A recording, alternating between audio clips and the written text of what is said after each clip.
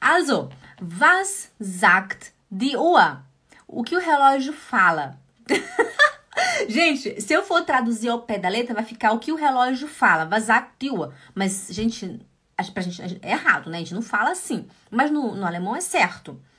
Was sagt? Você vê no seu PDF que está escrito com S. Mas por que, que a Jaqueline fala Z? Por que, que não é sagt? E ela fala, Jaqueline fala sagt. Jaqueline está falando errado? Não. Não estou falando errado. O S acompanhado da vogal, ele faz som de Z. Z. O S acompanhado da consoante faz som de sh. Por isso que é? Wie spät ist es? Quão tarde é? Eu, gente, não é, tá, não é assim que fala em português, né? Eu só estou traduzindo ao pé da letra, tá bom?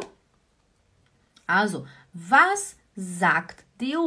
A Carol escreveu porque está acompanhado de uma vogal. Sehr gut, Carol. Bravo. Muito bem.